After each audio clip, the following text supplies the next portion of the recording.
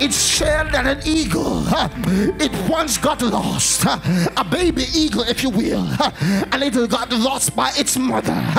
And then a duck, oh, God found that eagle and, started to raise the eagle as its own. And so, you know, ducks, they walk in one line, and everyone is behind mama.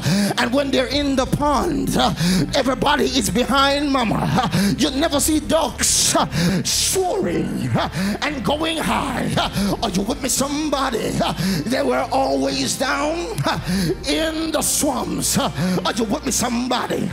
But here comes the eagle. He was in line with mommy in the pond on the earth. In the pond on the earth.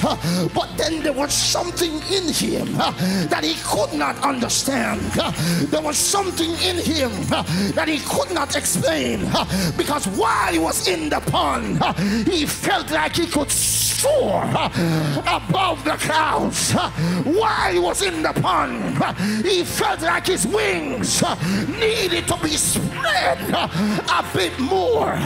He looked at himself, he looked at mommy, he looked at his brothers, he realized his wings were bigger, his big. looked different, and while they were comfortable being in the pond, the eagle wanted to soar. The eagle had to leave the pond and fly. Can I tell somebody? Don't let nobody stop you from soaring. Don't let nobody stop you from flying.